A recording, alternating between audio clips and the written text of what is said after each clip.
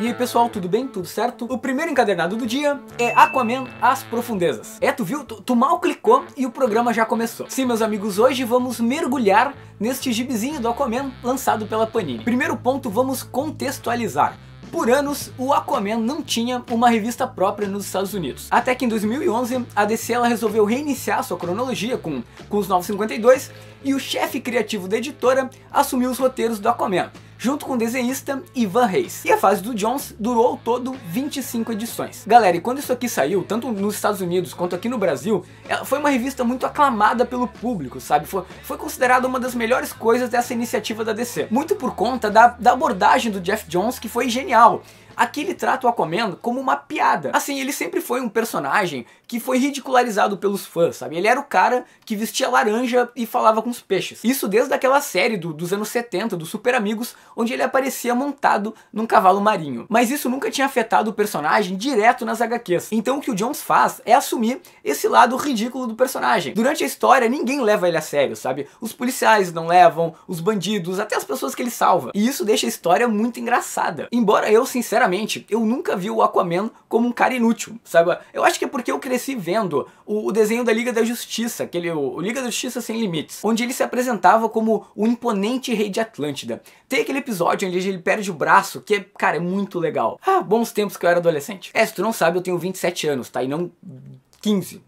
Bom, aqui na história, o Aquaman ele decide abdicar do trono de Atlântida e vai se focar em, em, viver uma vida heróica junto com a sua esposa na superfície. É quando criaturas bizarras começam a surgir do fundo do oceano e atacar as pessoas. E cabe ao nosso nobre herói colorido salvar o dia. Galera, sério, se tu não conhece o Aquaman, esse aqui é o gibi perfeito para ti. O roteiro do Jones é sensacional. Ele te apresenta todos os pontos básicos do personagem durante a história. E não é uma história de origem, sabe? Tu consegue entender os poderes do Aquaman, como a cabeça dele funciona, e tudo vai fluindo junto com a história. Enfim, fica a expectativa para que a Panini lance mais encadenados do Aquaman, porque ficou um gancho para a próxima edição. Eu posso estar tá ficando louco, mas que eu lembre, a Panini disse que existe alguma possibilidade de sair o segundo. Sério, eu curti demais isso aqui. A arte do Ivan Reis tá, tá sensacional. Não deixa de ler. Seguimos para a Lavagem do Chico. Lançamento da Mino Editora, que é uma editora nova aqui no, no mercado nacional. Eles já tinham lançado o Lamour, do Luciano Salles, que sinceramente eu achei terrível, sabe? Parece que é um quadrinho que não deu certo,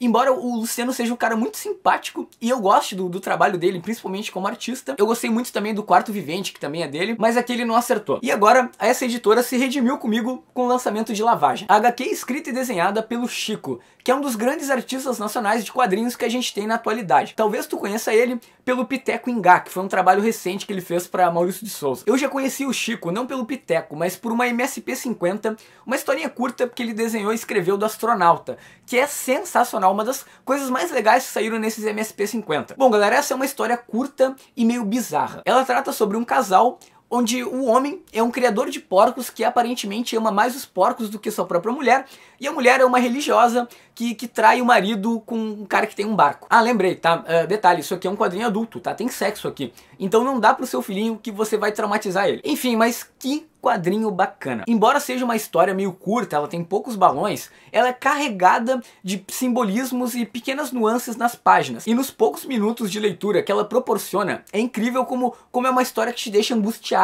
Ah, e detalhe, tá? Não é uma HQ que tu pode ler correndo, sabe, rapidamente. Tu tem que ler com calma. A, a primeira vez eu li rapidinho, acho que eu levei 15, 10, 15 minutos para terminar, mas na segunda leitura eu já peguei muito mais coisa, sabe? Eu já, já peguei pequenos detalhes nas páginas, já interpretei melhor o que estava acontecendo. Procura ler absorvendo as páginas. Dá para enquadrar HQ na, na categoria terror psicológico. A história mexe muito com religião e é extremamente aberta a interpretações. Provavelmente se tu ler, tu vai entender algo diferente do que eu entendi. Tá, mas não, não me interpreta mal, assim, não, não é uma história vaga. Uh, tu vai entender, provavelmente, a, a estrutura da história tu, tu vai entender assim como eu. Mas os pequenos detalhes acho que vão diferenciar a leitura. Enfim, fica a recomendação, tá? Se tu gosta de quadrinhos nacionais e quer ler uma coisa um pouco diferente, vale a pena. Embora seja um quadrinho meio caro. Se eu não me engano, o preço de capa é, é 50 reais. Mas, cara, é um material capa dura, é uma, uma história nacional. Torço para que a Mino Editora lance mais materiais assim. É, mais um, mais um ciclo se completa e tá terminando mais um programinha. Fica o link dos últimos vídeos aqui do canal, que é um vídeo sobre a série do Constantine, por que, que eu acho que ela foi cancelada, onde eu, eu discorro todo o meu ódio sobre aquela produção, um vídeo sobre as duas origens do Wolverine, que foram lançadas recentemente, e um videozinho sobre o encadernado do Flash dos 952 e sobre o Wolverine que saiu pela Salvati na coleção de capa vermelha. Tá, eu acho que era isso, tá? Uh, tchau.